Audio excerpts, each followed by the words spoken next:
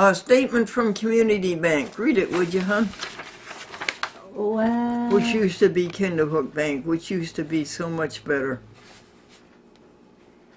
uh, But your your statement is your previous balance was five hundred dollars. yep, that's right. Your ending balance is two hundred and eighty-two dollars. That's right.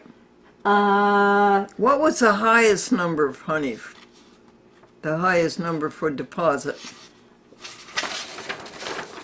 let's see.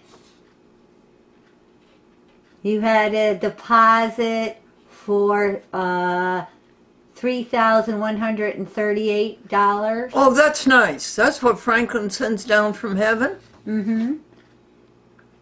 Yes. And then another deposit for uh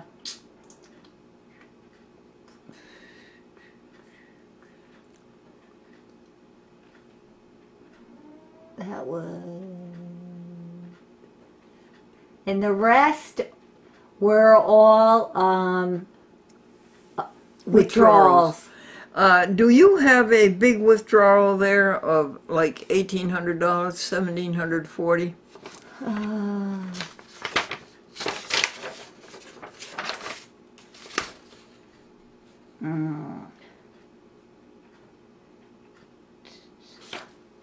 That would be the spend down.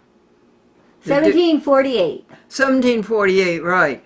That's the difference, Carol, between how much we deposit, or how much Franklin sends us, and how much the Medicaid, the most Medicaid will pay.